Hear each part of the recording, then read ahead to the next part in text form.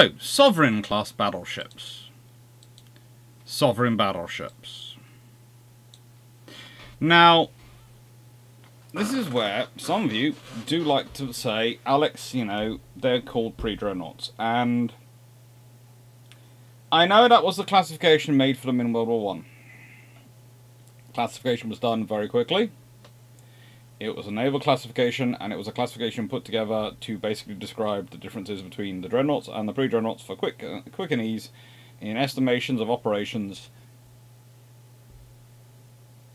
and for journalists, etc., to follow which battleships are where, i.e., the dreadnoughts of the Grand Fleet versus the pre dreadnoughts being sent to the Mediterranean. However,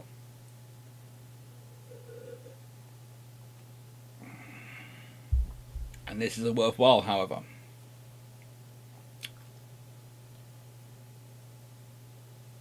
That is not a classification that sits well with me. Because if I classify things by what comes after them, we tend to automatically put them at a disadvantage and automatically think them lesser. And it isn't really the historical methodology. You classify going forward, you don't classify going aft.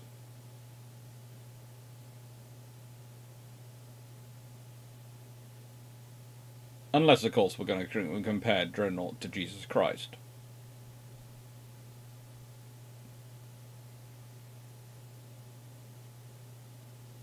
I don't think that quite makes sense. Because that was how we used to divide up the years before we came up with the idea of, um, used to be before Christ and then Anno Domini after Christ. Um, basically. Or the year of our Lord, depending on how you wanted to phrase that. And now it's become BCE and CE. Before Common Era, Common Era. Marked on the same date. And it's that's always that always makes me laugh because basically that's going okay so we want to we can't change all the dating system because so much work and so much body has been done in that dating system we can't go back and retroactively change the dates what we're going to do is we're going to change the year system. And you know what? We're going to be really sneaky with it. We're going to make it before Common Era. Because then all you have to do is add an E onto the BC. And then that's all fine. And most people haven't offered, often haven't usually bothered to put AD. Or anything else after the years which have been the what are now the common era or a uh, common era. So yeah, it's a really easy change to make and you can slip it in.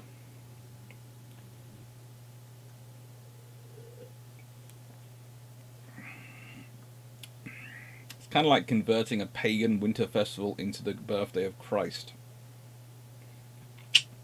It's just a great trick. Everyone already wants to have a party that day, nothing else much to do. So let's take over that party.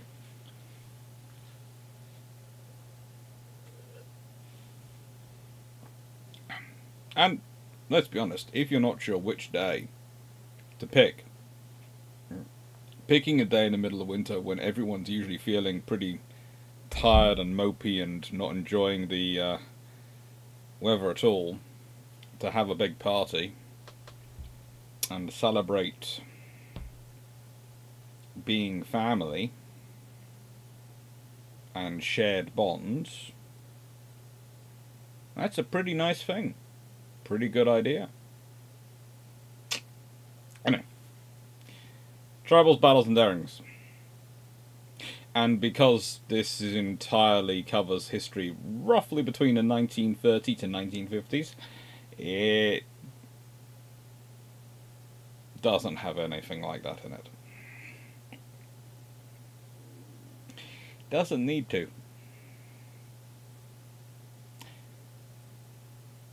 But the point I'm trying to make, and I know there was a possibly a little bit of a ramble there, but it's trying to give some context. Is that we cannot describe battleships prior to the advent of HMS Dreadnought as pre-Dreadnoughts and be accurate for them.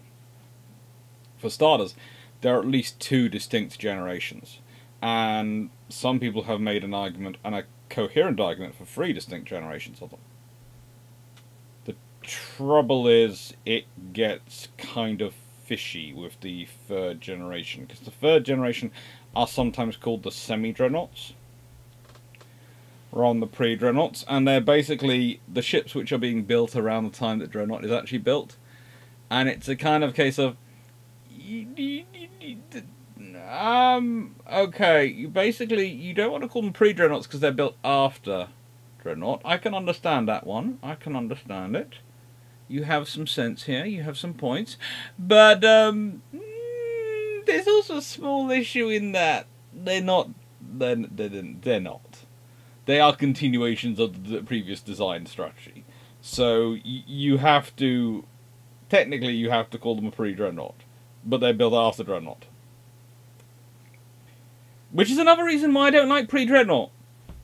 Because it doesn't make sense when you look at the actual ships. It's an easy catch-all. It doesn't make sense. Which is why I come back to Sovereigns. Now, what is the big difference between Sovereigns and the previous ones? Well, there's the hull type. It's an ocean-going hull. You notice there, she actually has a freeboard. you can take her into these things called waves, and she doesn't immediately go, "Oh, liquid! Oh, were you all hoping to actually get home? You were. What a shame for you." Um, so she's rather useful.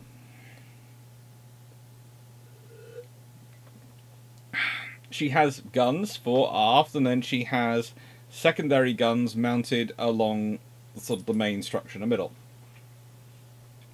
But her secondary guns are more of her primary armament than her supposed heavy guns are.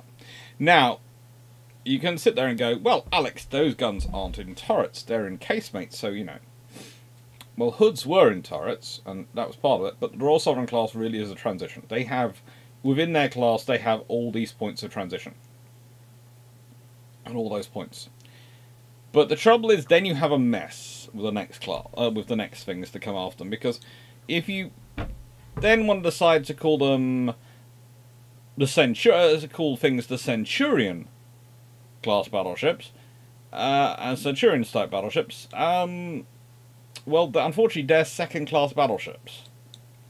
And then after them, you have to wait. For, well, there's HMS Renown, who's also another second class battleship. Okay. So you'd be waiting for the Majestic class, and you'd be calling them Majestics. By which point, quite a lot of people have got in there, copying the Sovereign design and moving on. So you're basically left with, okay, we're going to have to go to the Sovereigns. And they make sense. The Sovereigns are good ships. They are a balanced design, which is what you needed. Yes, they have 13 and a half inch guns, four of them. And trust me, you're going to get sick of hearing me talk about 13 and a half inch guns in this video. There is a reason I make the joke that going for 12 inch guns was the most un-British thing that could be chosen for HMS Dreadnought. She should have had 13 and a half inch guns. And I have tested a Dreadnought design with 13.5 inch guns on UAD last Friday, so it'll come out Wednesday. tomorrow when this uh, when this video comes out, and you'll see she does pretty well with 13.5 inch guns. They're pretty good things.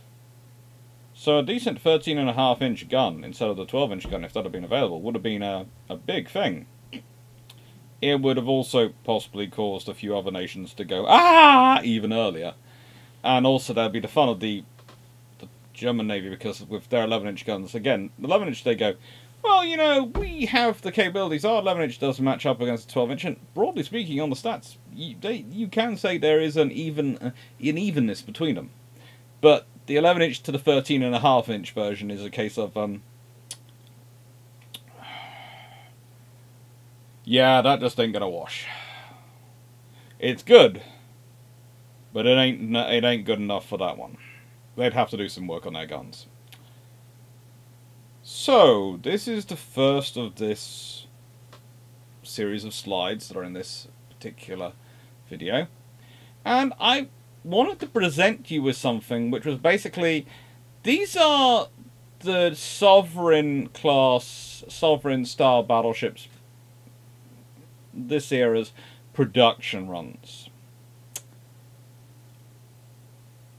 You have the Brandenburg class of the Kaiserlich Marine, uh, Brandenburg, Weissenburg, Kurfürst, uh, Kurfürst Friedrich Wilhelm, and then uh, comes out in 1892. This is when they're launched. It's worthwhile considering that because it's when they're launched. Uh, the German ships are an interesting bunch because whilst the Royal Sovereigns are launched in 1891 and then completed 1892, um, 1893, broadly speaking, but 1892, 1893, usually within, at, you know, a fairly short amount of time from their actual construction. The German Navy, in terms of Brandenburg, managed to get her completed by November 1893. She actually comes after Wörth. That's the interesting thing. Wörth is launched in 1892 and is completed in October 1893.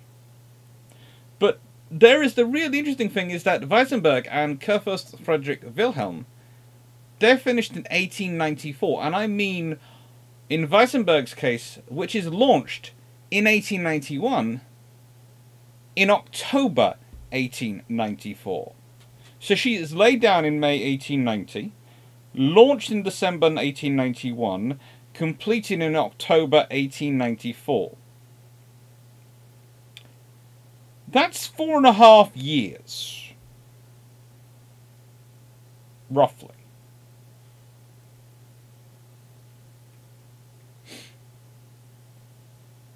Four and a half years. Compared to Wörth, which is built by the uh, Germaniawerft Kiel. And, well, she's laid down in March 1890, launched August 1892, and completed October 1893. Basically, you have your problem coming up here, there, because it's the time spent to complete these ships. And I'll get into Brandenburg well in a second, but here is the other point. The Royal Navy launched the Royal so first batch of Royal Sovereigns in 1891. That includes Hood, which has turrets. Then you have more Royal Sovereigns coming out, launching in 1892, and also some Centurions. Then you have a gap for 1893, where basically the Royal Navy spent time watching French ships being launched, and some American vessels coming on, including Indiana, Massachusetts, and Oregon. Uh, they're the Indiana class, and they are a really good bunch of ships. And the Russians even launch some ships. But that's in 1894 and 1895. Always nice to know that they're going to be coming. And um, I should have blacked out the bit below the Majestic class, uh, between Majestic and uh, Renowned, that space. Sorry, there's a little space up there which should have been blacked out.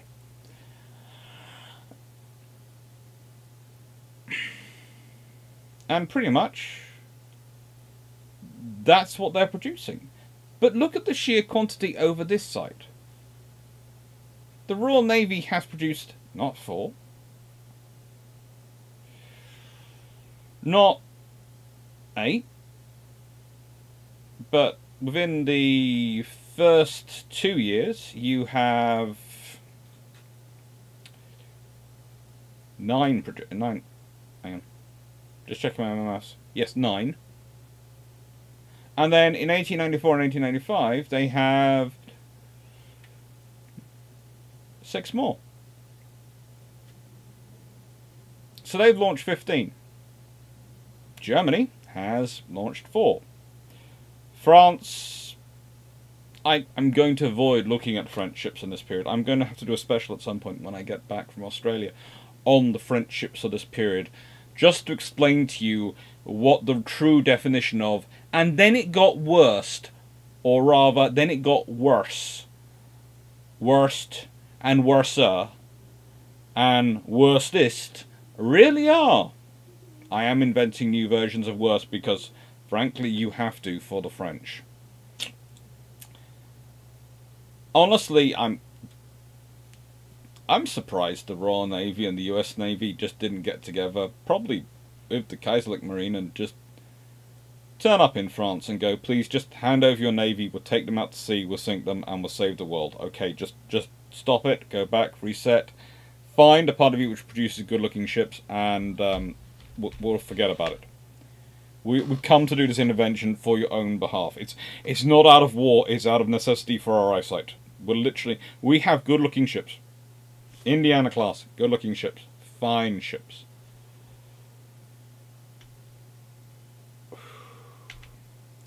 So, why did the Brandenburg class take so long to actually get finished? What's the problem for Germany? Well, it's the trouble for Germany starts with uh, Kurfürst Friedrich Wilhelm's test revealed that her propulsion machinery um, was atrocious.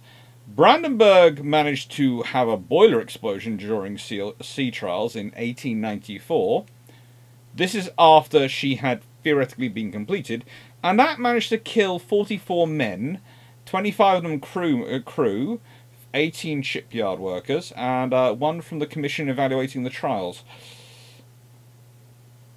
This was caused by an incorrectly manufactured valve in the starboard engine.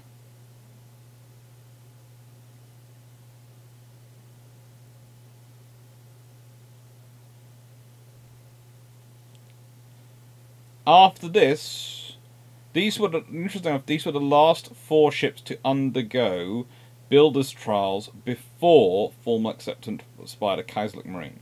From this point onwards, after Wörth is in is in is in service, the German ships undergo testing after commissioning.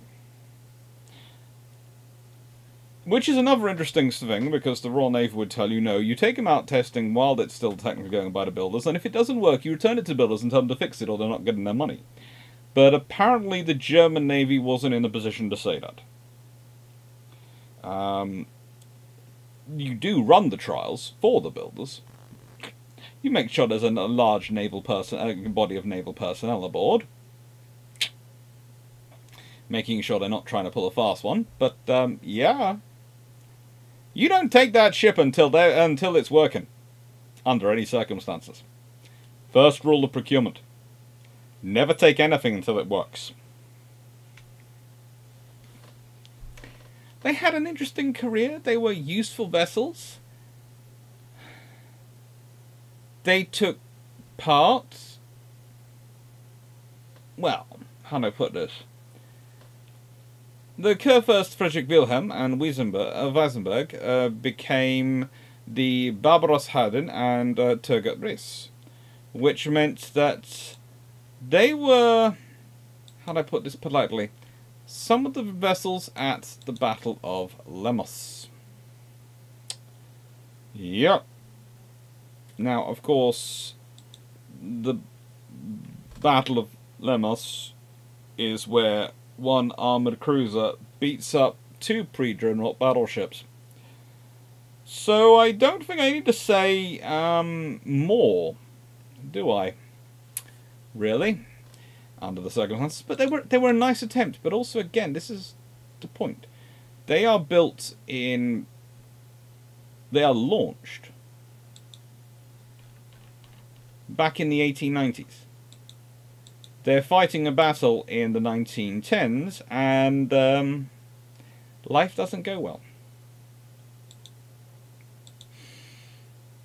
And then we have here Sissoi Veliky. Now, she has the joy of being sunk at the Battle of Tsushima.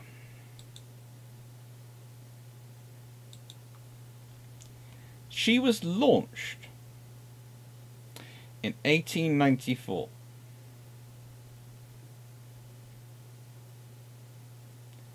As part of a group of vessels built for the Baltic Fleet.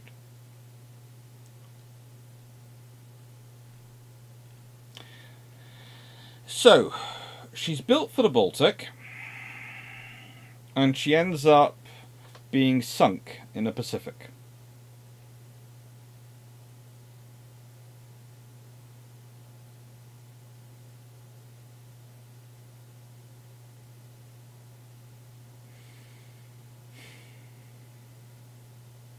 She's not a bad design. Not really.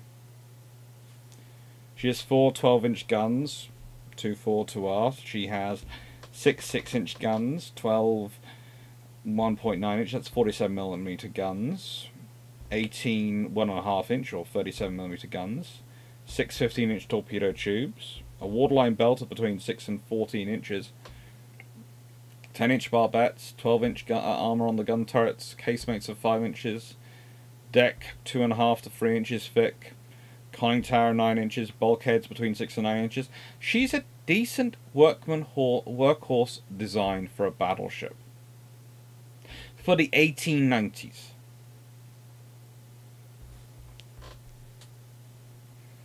And this is a real point to consider. She's being built in the 1890s. Unfortunately for her, she is also a Russian ship, which means they regularly like to improve her armament and her design without remembering the fact that they have the same weight, they say have the same displacement limits as they originally did, that they have the same engines as they originally did, and therefore they're going to keep overloading these things. And that's what they do. They do keep overloading them. Repeatedly. But she is a good example of the designs available and the designs coming in. She is a good example of what was being considered in the 1890s outside the United Kingdom, outside of America, and to an extent Germany. But she is also a response to the Brandenburg class, and I have no doubt in saying I would want to be in neither, neither in a fight. You know, one, its armor's fairly decent, but its engines are trying to kill me. The other one it's had a load of people poking holes in its holes in its structural integrity to add in more guns because apparently Russia in this time period had drunk the I don't know the uh, the American we uh, West uh, Kool Aid and believed that actually having more and more guns was the answer rather than being good with the guns you do have. You know, they were the kind of guy who turned up with 12 six shooters on him, going, "Yeah, I'm armed," and he's sort of going, "Well." You, you could have just carried some more spare rounds and only carried two, because carrying six, how are you going to get to them and what are you going to do with the others when you use them? You're just going to be putting guns everywhere. It's, it's no, not really help having. Having 12 six shooters is not any help at all. So here's the next sort of generation of these vessels. And again, please notice something on the on this side. we have the Majestic class, we have the Canopus class, we have the Formidable class, we have the Dunk the London class. And as you can see, the Japanese have entered here. And yes, they are getting these built in the UK. Uh, the Kaiserlich Marine has the Kaiser Frederick class, which are just coming along. They're quite nice ships. They're definitely improved. And they have Wittelsbach, which is a one-off, and she's a good little ship. Again, the French are um, managing to keep produce one-offs. Uh, if we go back to this earlier one, you'll notice that the French do have a habit of keep producing one-offs, and then they have a little class. They do about four one-offs, and then they do a little class. Well, the, the, the French continue to destroy with... Well, they have about three one-offs in here, and they have a little class. The Charlemagne class with Saint-Louis and Gaulois. The US Navy have the Kearsarge, which are really quite cool ones, and Illinois class. For, start, for some reason, the first Illinois class to launch is Alabama. So, whilst that class is known as the Illinois class, let's be honest, the first one to reach water was Alabama, which is which is appropriate. The Italian Navy have entered the race with the Ammiraglio di Saint Bon class, and they have built two ships. I was including, considering adding on the Austrians into this, but that would just add me and uh, make it look like an, another stream of black with occasionally um, a couple of ships peering up. And this is the trouble. At a certain point, I wasn't, wasn't even sure about including the Italians in this, but they are a big factor of the later naval races because of their technology technological approach. So it seemed appropriate to put them in. But it's kind of like the Russians and to an extent the French. It's just it just makes it look even worse. From the perspective of the Royal Navy are building, are pretty much building enough ships that they are built uh, that anyone else in the world can turn up with better ships. The Royal Navy can turn up with about six. Oh yes, you have the individually superior vessel. We agree, sir. Meet twelve. Enjoy. Oh, you, this is sort of the period when you have almost you have the two power standard going on.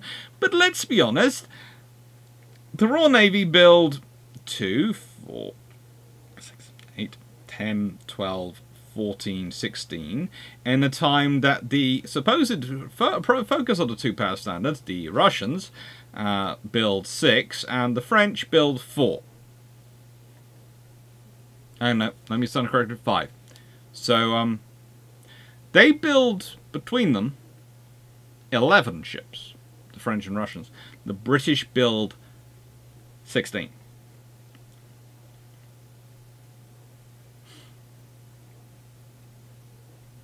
Um, uh, uh, uh, I'm not saying that there is an overmatch going on here, but if I didn't know better, I'd say the Royal Navy was compensating for something, or they were trying to keep their maritime industry artificially high. But there is an advantage to this, because the Royal Navy are able to pursue a very evolutionary process with these ships. So, whereas between some of these classes you will see some big jumps on the other navies, with the Royal Navy class they sort of fix in form and they slowly change. And you almost don't realise they're changing, they're changing, changing, until you're looking at the final class and going, Wow, you are really quite different to the ones that started. When did that? How did that change happen? And it's literally it's because the Royal Navy are keeping up this constant drumbeat of construction. They're not launching a lot of ships every year, but they're launching enough. And the Majestic class, they've got 12 inch guns. It happens. Sorry, Royal Navy, it does happen.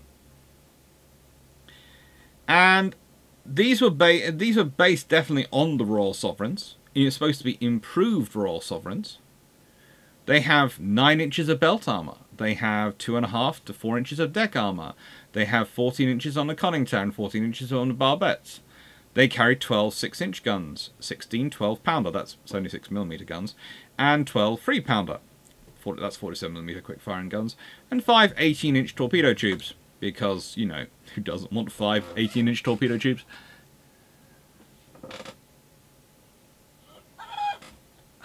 Sorry. Before you think I was hurting my dog, I was just grabbing something out of his eye. I could edit that out, but then that the noise might end up, and then people were just wondering, "What are you hurting a dog?" No, I'm just cleaning his eye. He didn't want it done earlier. He thought because I was distracted, he was safe. Papas remember. Anyway, the Majestic class are pretty good ships, and the Royal Navy builds nine of them. Majestic, Victorious, Magnificent, Mars, Hannibal, Illustrious, Prince George, Caesar, and Jupiter. Which is also another interesting thing to think about, because when you're considering they've got nine Majestics, and you start looking at all these vessels, and you go back to the previous construction, you go, well, hang on, the Royal Navy has built more of one class than some navies have in their entire fleet at this point.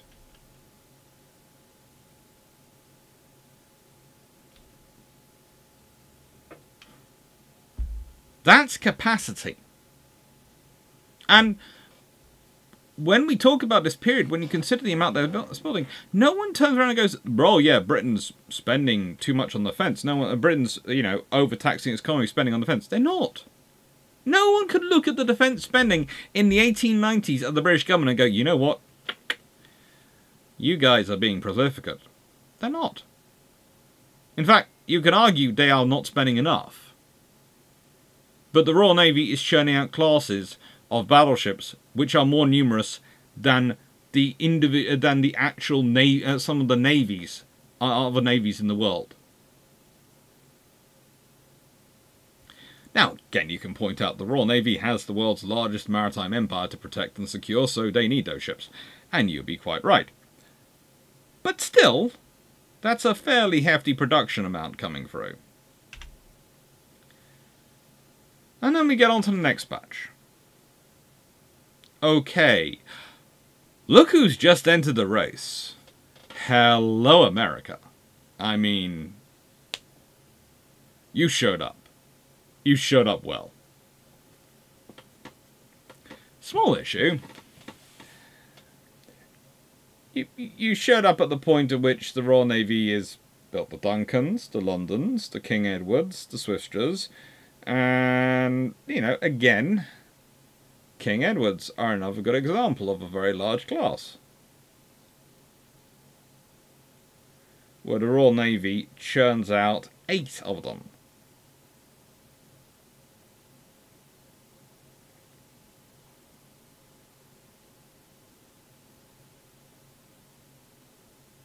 The, the Kaiserlich Marine are starting to pick up their production.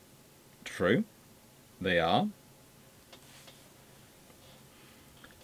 But the French Navy are continuing to be... I'm not sure how anyone justified a scare of the French Navy at any point in this period, considering their construction rate. I mean, I know I'm going to be talking about the Jeune École, uh, not next week, but the week after, on the Tuesday. But I don't know how anyone justified being afraid of the French Navy. Proximity, the other side of the English Channel, and the sheer uh, the the fact that they're actually building any ships at all, and their history, yes, I can see, and the French army certainly, and the idea being the French Navy will get the French army to British shores. I okay, that makes sense, but on sheer production alone, the Royal Navy's Channel Squadron probably could outnumber them two to one, and still leave plenty of fleet left over for the rest of the world. I mean, the only nation you really have to worry about in terms of construction terms here is America, because they are the only ones who are actually managing to turn their ships around in a fairly decent time. And even then, they have to take huge gaps between construction, because the Congress has two modes when it comes to naval defense spending. Either the tap cannot be opened no matter how much effort you put on that wrench, no matter how much force, or it's gushing. They have no in-between nozzle. It's either jammed full on or full off. Which is why the US Navy is built in these gulps. Not always the most sensibly, let's be honest, we will get into the Virginia class design, but they are built. And again, for the Russian Navy, Borodin, uh, Borodino class, launched 1902-1903, you can see they are in a bit of a pickle. But not necessarily as much of a pickle as the Japanese. Because the Japanese battleships mostly came about in the previous years. So you can also start to understand why people were so sure that Russia was going to easily win the Russo-Japanese War.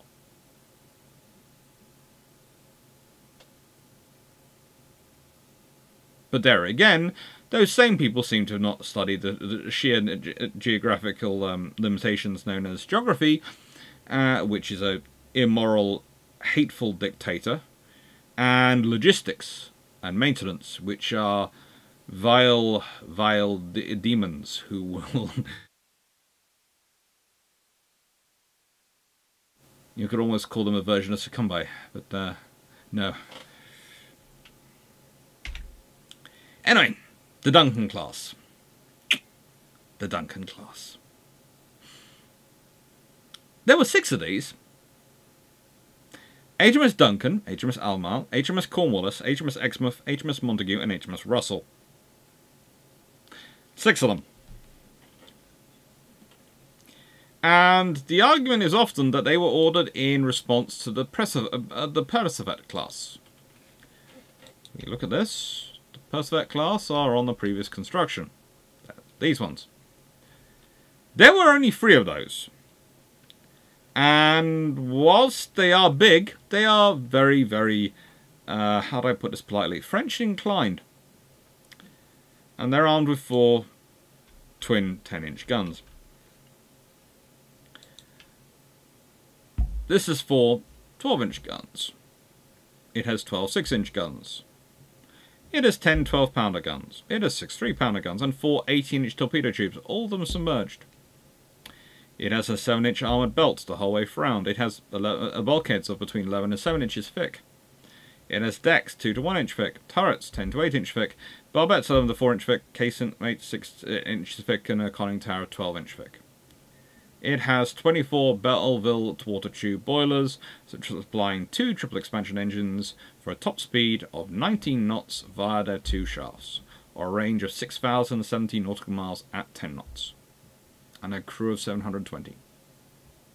And I can tell you one thing I am absolutely certain of, absolutely beyond any, any doubt.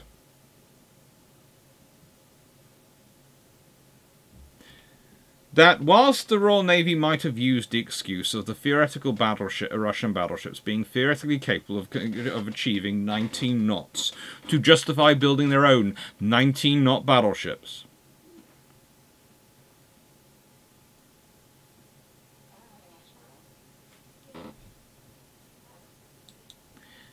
not sure if you heard my mum issuing her instructions via camera then. But no, um, the one thing I can be absolutely certain of, beyond the shadow of a doubt, is that the Duncan class and the London class which preceded them are built as the Royal Navy wants more battleships to cover its space around the world. The Russians are a good excuse to point to. Oh, they got fast battleships. We need to build fast battleships. And the Royal Navy is not above focusing on other people to justify its construction program. But and you can argue, oh well, if the Russians have three to guarantee the availability of three, you need at least three vessels. Uh, you need at least six vessels, at least six to guarantee the availability of three. Yes. Yes, you can justify that, but at this point, you you have the London class. You have all these ships down here compared to those Russian ships.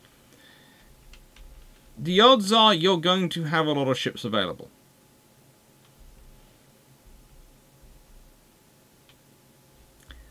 This is giving the Royal Navy even more preponderance of power, and the British government doesn't mind having the excuses given to it to give that, uh, because it just gives them a far bigger stick to walk around with.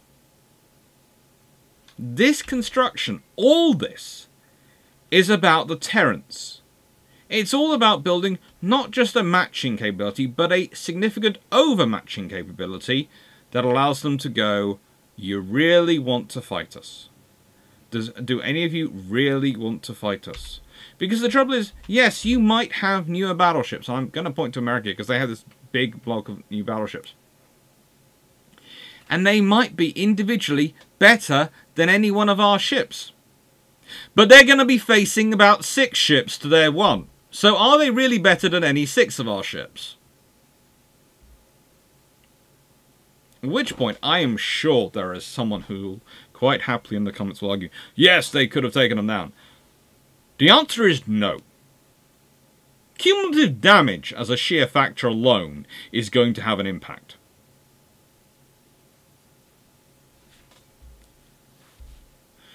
Before you get to the reality that I probably wouldn't turn up with six ships. I'd have three ships in the, per you in the battle, and I'd have the other ships all off doing nasty damage elsewhere, where you couldn't be, because you're having to be concentrated to deal with the mighty fleet I've got. Or you're off in penny packets, in which case I've got squadrons of six ships showing up at every space you are, going, hello. Then after that comes the Swiftsure class, which were originally ordered as the Constitution class for Chile.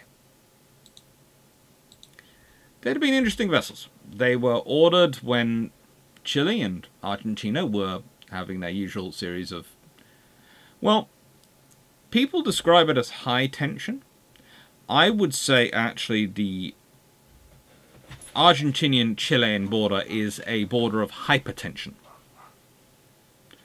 As the only thing I can describe it as, because nothing causes more British ambassadors to have heart attacks than getting an order from home. You do realise they're arguing with each other again. Go and sort it out and stop a war because it's going to cause our trade issues. And having to go and work with usually various people to try and bring peace in this period. Alternatively, you then get the ambassadors who are quite happy to inflame the situation so they can order get will get more orders of ships through. Basically, you alternate. You either have one an ambassador who is doing one thing or an ambassador who's doing the other. And occasionally, they'll do both things, but in different terms of service. It's brilliant. Now, these vessels, they're kind of special. They're 19 knotters again. So, they, the Royal Navy has a, a fair number of uh, pre-dreads which can do 19 knots. But to get to their 90 knots, they're armed with 10 inch guns. They have 14 single 7.5 inch guns though, so that's not bad. And uh, 14 uh, 14 pounder or 3 inch 76mm guns. Four single 6 pounder guns, that's 57mm guns. And um, two 18 inch torpedo tubes. Their armor belt is between 3 and 7 inches thick and it's kind of an interesting belt in that you have this lower sort of below the water, uh, waterline that sort of belt forward, which is three inches. You even have two inches on the front here to give it a sort of ram bow. And then the moment you get back to this bit, it goes up to about six, in, uh, six inches and underneath the uh, turrets, and then seven inches uh, across the rest of the sort of the center point in the hull. They're good little ships. They're in a service they're completed in well, 1904, and the Royal Navy is pretty darn happy with them. They are built by Armstrong Whitworth El Elswick Yard and Barrow Furness Vickers. So they're built by good yards. So the Royal Navy's got to going, well, you know, if we have to take them on, we will do. Um, it's a, it's a hard life, but it's, it's, it's something we'll do. Triumph the other, the sister, sister, actually participated in the hunt for the German East Asia Squadron and served in the campaign against the colony of Tsingtao until she took part in refit in Hong Kong. She had actually been on the China station from 1913 and is one of the ships which almost comes dashing across the Pacific. And its rather interesting point of view is what happens if Swiftsure's sister, HMS Triumph, manages to actually end up at Coronel. Because if she had left, or if any of the big ships really had left in time, they could have theoretically made it to Coronel in time to meet up with with Cradock, especially with their using their radios and other systems to try and keep in contact. And if you had a 19 knot battleship there, even with 10 inch guns, even with only 10 inch guns, it would have been an interesting addition to the force. It would have possibly caused a little bit of worry amongst the uh, gentlemen of the Kaiserlich Marine and could well cause the East Asia Squadron to decide that it preferred not to take part in the battle.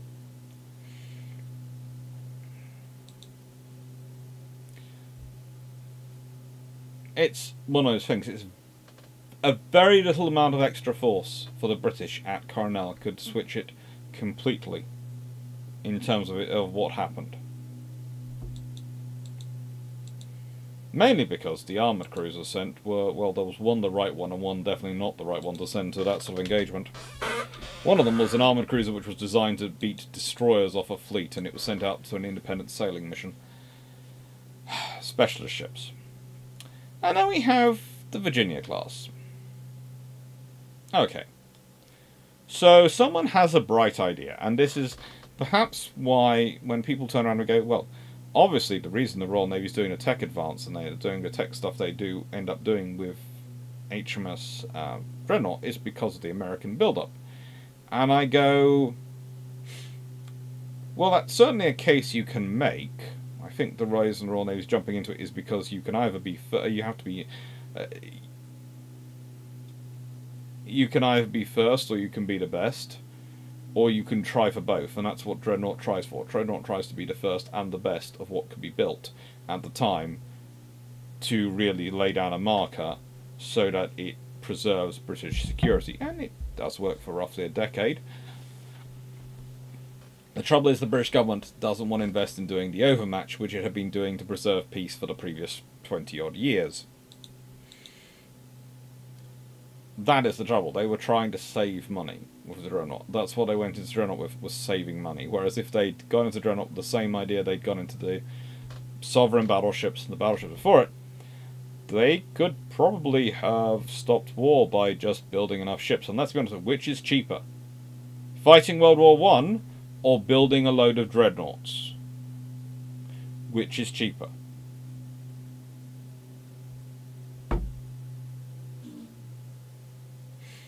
Now, the Virginia class are, as you can see, interesting. Specifically because the bright idea. The bright idea they have is to mount their 8 inch guns in four twin turrets, of which two of those turrets were superimposed on top of the 12 inch turrets.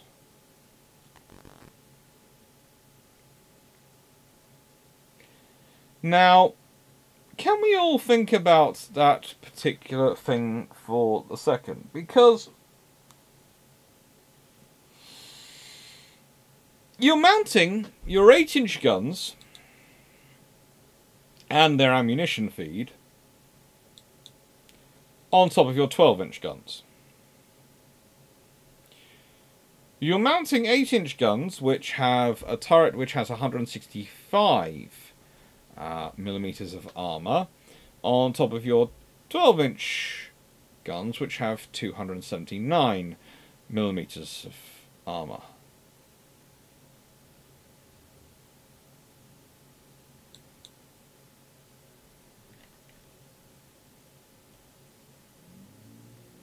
Well, for the 12 inch guns have 305 millimeters on. Sorry, misreading it. It's just, it's um, I'm just...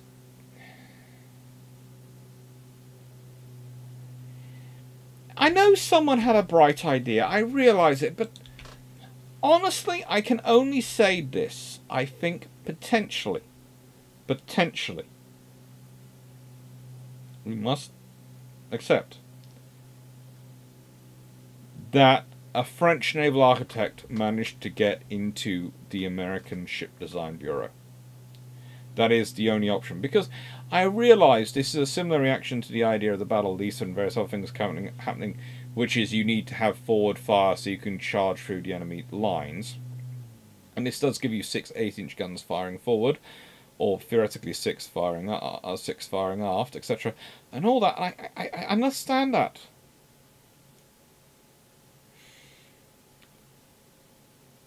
But I also do not understand what stops someone simply putting a piece of superstructure behind the 12 inch turret and mounting the 8 inch gun on the superstructure instead of putting it on top of the turret? Because I'm fairly certain the vibrations of the 12 inch guns firing are going to do great things for the 8 inch guns firing mechanism. Let alone the fact that if the 8 inch gun get, mechanism above gets hit by something that go, makes it go kaboom, that could well knock out your 12 inch gun. And especially if you consider the ammunition feed for the 8 inch gun surely goes through the 12 inch gun.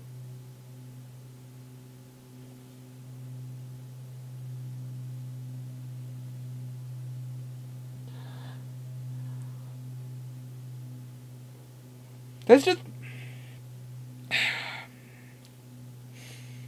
Someone had some bright ideas. I know, I know. But that's going to have to be a whole video at some point. The bright idea fairy hits the US Navy. Schleswig Holstein of the Deutschland class. And yes, I do enjoy saying Schleswig Holstein. Mainly because every time I, I, I challenge one of my colleagues to say it from shipshape, they look at me as if I'm being particularly cruel. They're a good class, the, uh, the Deutschland class. They really are. They are the pre-dreadnoughts which fight at the Battle of Jutland. Pommern, well,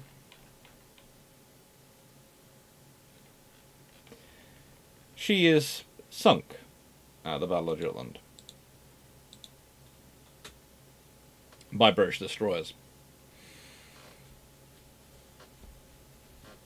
And so is probably the largest German loss of the day.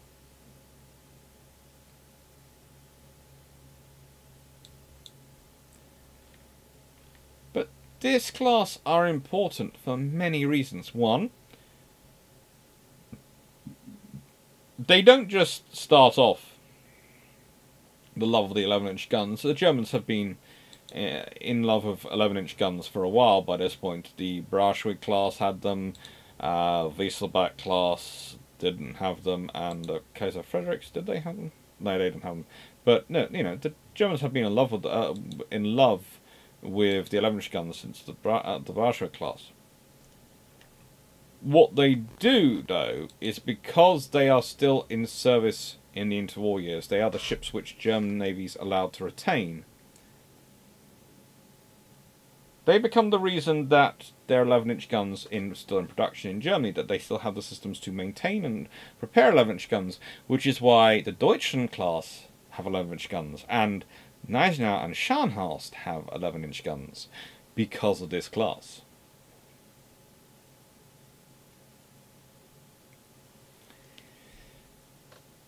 These were the first vessels which were ordered under the Second Naval Law. The Wittelsbach class had built the um, had built been built under the first naval law, but these vessels, the Deutschland class, were the second naval law,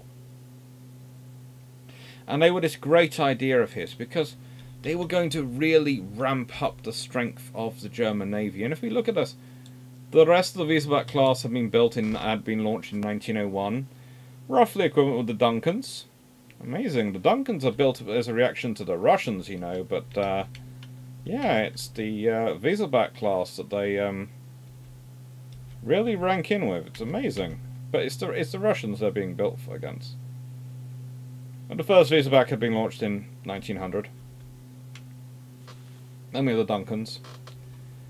And then the Braunschweig class start. And amazingly, then come the Londons and the King Edwards. But, you know, they're being built because of the Russians. They are being built because of the Russians. And the French. Then we have the Swiftsure class. The Braunschweigs are, are finished off with the King Edwards, but the King Edwards see the start of the Deutschland class. And the King Edwards keep coming, well, along with the Deutschlands. So this class keeps coming. And honestly, they match up with the Lord Nelsons. They match up with Connecticut class vessel New Hampshire. Um, it's not quite the same. There are Honestly, I could have kept going with some navies because they do keep building this style of ship for a long period. The Japanese Navy have the Satsumas, and they and the Lord Nelsons are both fairly interesting. But the point that I often make when talking about this period is you're starting to get into what is sometimes known as the semi-dreadnoughts. And the Deutschlands are being continued on. And the Deutschlands have their 11 inch guns, that's their primary guns, and then they have 6.7 inch guns. The Deutschlands aren't heading towards what's sometimes classified as semi dreadnought status. And it shows the basic thing again for the German Navy. It's one of the interesting, really interesting things. They are a technically very adept nation with a rich scientific and engineering background. And yet, their warship construction couldn't be more conservative. And the reason for that is because of all the naval laws, the cost requirements, the limitations put in. All these things have an effect on what they can actually do, on what they can actually be. And that's a problem for them. It really is.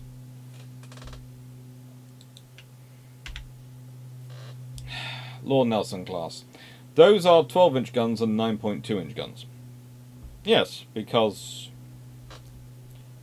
really wanted to make a point. Really, really wanted to make a point.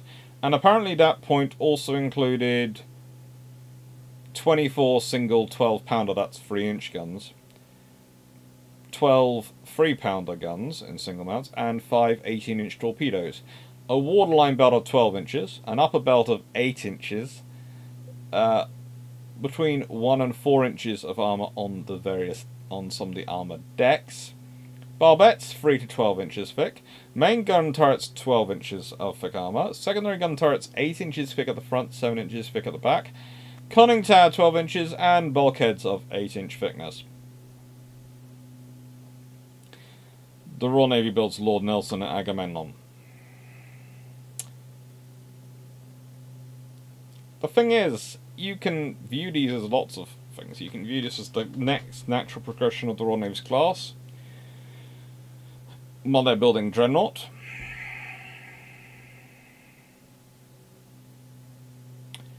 You can also view the fact that in many ways these are insurance for Dreadnought. If Dreadnought doesn't work out, the Royal Navy still has two of the most powerful battleships in the world. If Dreadnought turns out to be a flop, no one really wants to take on a Lord Nelson class. Certainly not in a Deutschland class. It's a good looking ship. But that'll poke a lot of big holes in you.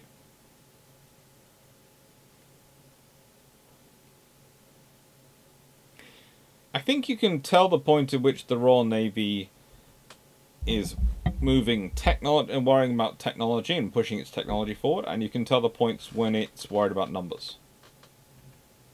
Because the Royal Navy tends to adopt a small classes to push techno technology forward and then do a big class order. So when you see them ordering 8 ships, 9 ships in a class, that's usually the point at which they are fairly happy with technology and they want to order a nice squadron. When they're ordering a couple of ships, they're developing the technology.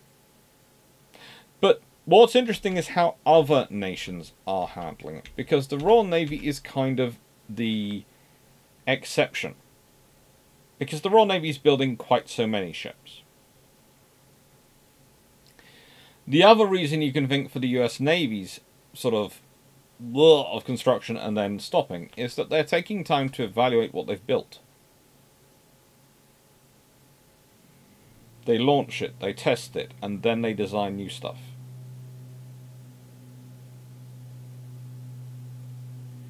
So the US Navy is basically going through cycles of construct, evaluate, construct, construct, evaluate, construct, construct, evaluate, construct.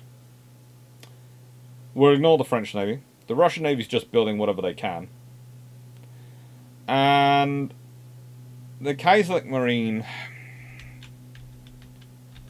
well, they change. They start off by building, yeah, we've got some battleships. And then nothing. Nothing.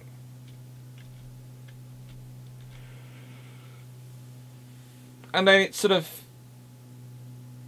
it's 1896. Yeah, we'll start some construction off. What are we going to build? Ah, the Kaiser Friedrich III class. We're going to launch one vessel in 1896, another one in 1897, and the remaining two in 1899. Oh, and the uh, we're going to launch a uh, fifth one in 1890 in uh, 1890. Or that's 1900, sorry. In 1900. At the same time as we launch the Wittelsbach class. Start off with Wittelsbach, and then we're going to do the rest of the Wittelsbach construction. And then they have, you know, they push out the Wittelsbach as fast as they can. And that's in Brunswick. And again, it's 1892, 18, uh, it's 1902, 1903, 1904. And then Deutschland's 1904, 1905, 1906.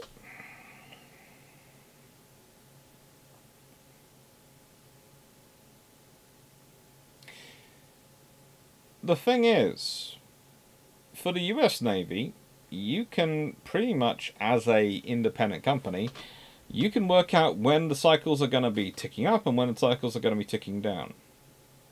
For the Royal Navy, there's always something seems to be going on. For the Japanese Navy, the Royal Navy will have the British yards will happily take your paychecks and cash them. The French, it's just all over the place. The Italians are. They build something.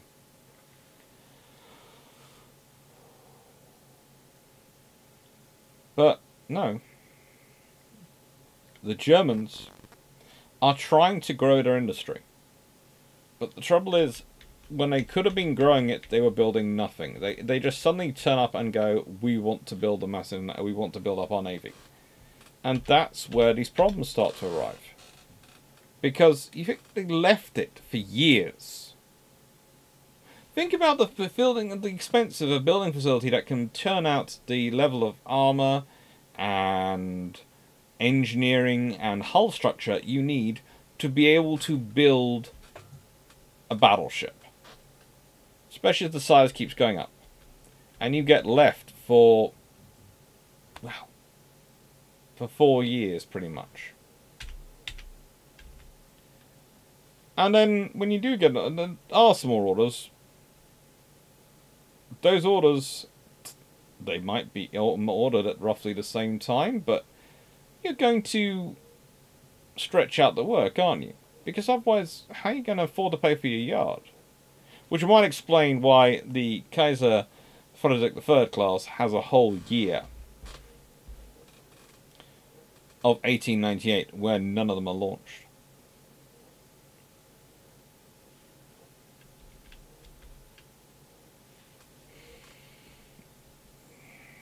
From that point onwards, the Germans managed to get into yearly launches, but you're talking about normally two ships one year it peaks in three, one year it drops down to one, but normally it's two ships a year. Which is going to build them up a capability, but it's not going to build them up fast. It's going to allow continued investment, but it's not going to allow it to be built up for, for quickly.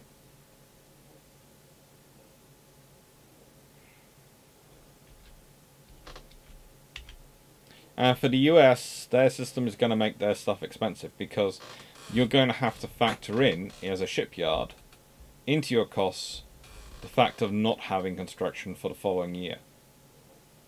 Or two years. On that slipway and slipways are expensive things to build and maintain. Yes, you can fill in some of that gap by putting in stuff which doesn't require the full capability of that slipway. True, you can do.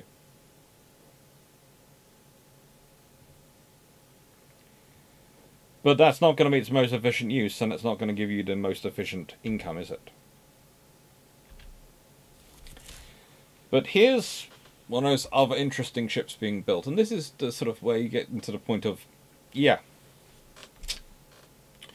are we talking about a semi-dreadnought here? Because this one has four 12-inch guns, the Satsuma class of the Japanese, and 12 10-inch guns in six twin turrets.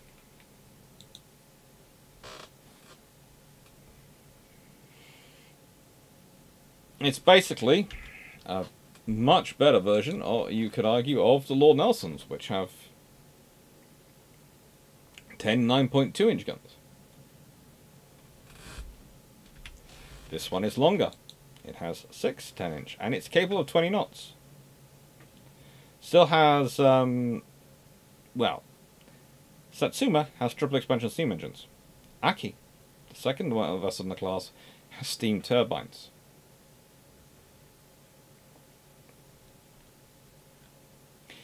And these are ships which... How do I put this politely? Which the German Navy goes out of its way to try and avoid in World War One. These are some of the ships which the East Asiatic Squadron are going, we would really rather not bump into you.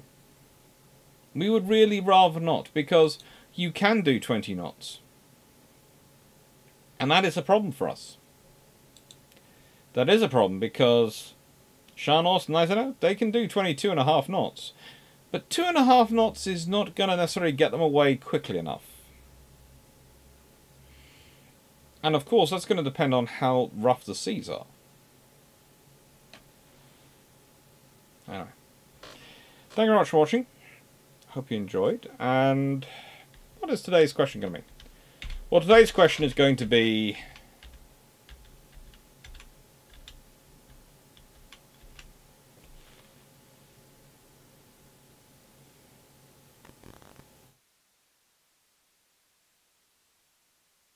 I'm going to go with the question option number four. Sorry, I got them listed, uh, listed there and I was just looking at them. Number four is a simple one, but it's a good one.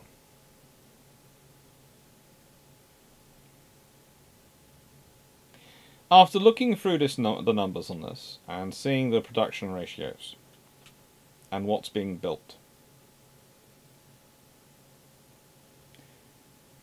do you find it plausible at any point that any production by at least the Royal Navy was simply as put due to uh, the production of anyone else? Or was it more a case of we are producing these ships, but we are going to produce a characteristic in them as a response to someone else, or justified by someone else, a characteristic that we desire? I'd love to hear your thoughts about this one. Because that is a lot of construction. And you're going to start seeing more and more of these construction tables because I found my old Excel spreadsheets which had all these tables written up and I've started turning them into slides because I used to use them in teaching a lot, and I hadn't been able to find a few years. Well, I'm going to have to rebuild those, and then I went, hang on, what about my really old? This is going to sound really strange. My really old portable hard drive, which is in the bright green box, because all my portable hard drives, all my backup portable hard drives, are in different coloured boxes. I've got to buy one before I go to Australia. Um, but where's the one now? The one I'm currently backing stuff up on at the moment is this box. Is it in this box? Stored in this box, normally. So, why? They're all different colours as a way of me storing them. So I remember each one differently. So everyone's in a different colour. So yes, I do have bright pink, bright green. I have, I don't care. The colours are different. Went and searched it, found them, and so they're going to start appearing. Anyway, thank you very much for watching. Hope you enjoyed, and take care. I'll leave you on a better picture than that. Mm, I'll leave you with the bright idea fairy.